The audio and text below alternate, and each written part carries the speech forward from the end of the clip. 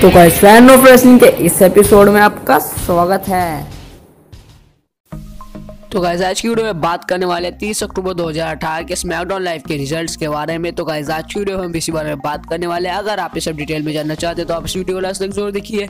चलिए बिना किसी देर के शुरू करते हैं। तो गाइस शो की शुरुआत यहाँ पे एजे स्टाइल करते हैं। वो रिंग में आते हैं और डैनियल ब्रांड को रिंग में आने को कहते हैं। इसके बाद डैनियल ब्रांड आते हैं, वो साफ़ कर देते हैं जिस स्टाइल से कि वो चैंपियनशिप मेरा सपना है और जो भी उसके रास्ते में आएगा मैं उसे हटा दूँगा।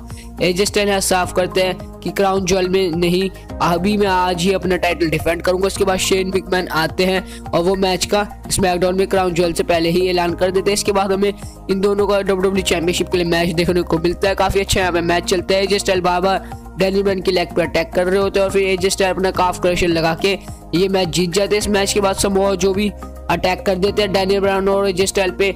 इसके बाद शो बैक स्टेज जाता है। फिर शार्लेट से कहती है कि उन्होंने एवोल्यूशन में काफ़ी अच्छा काम किया वो सर्वाइवर सीरीज़ में उनको कैप्टन बनाना चाहती है। वुमेन्स टीम को स्मैकडाउन की शार्लेट इनकार कर देती है, लेकिन पेज यहाँ कहती है, तुम एक बार और सोचना। इसके बाद हमें the big E versus Cesaro के एक ट्रिक और ट्रेट स्ट्रीट फाइट देखने को मिलते हैं। काफ़ी अच्छी ट्रिक और ट्रेट स्ट्रीट फाइट हमें यहाँ देखने को मिली। जीत यहाँ बिगी और बिगी और न्यू डे की हुई।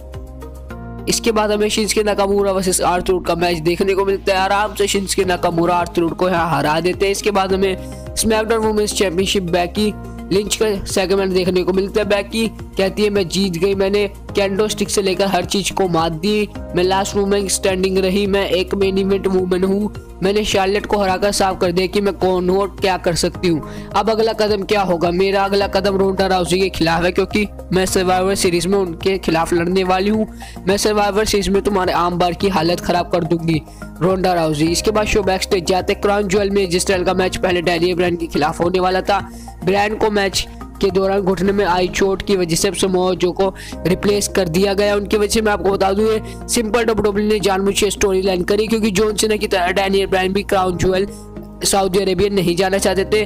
तो मे भी डब्ल्यू ने जानबूझ के ऐसे स्टोरी लाइन बैठाई कि डैनियल ब्रांड इंजर्ड हो चुके हैं और उन्हें कोई अपोनेंट मिला नहीं होगा।